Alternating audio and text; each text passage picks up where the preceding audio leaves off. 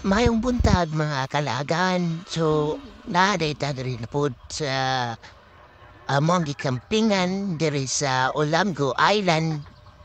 Ya, mo ni diri ang area sa amo ang gistayhan.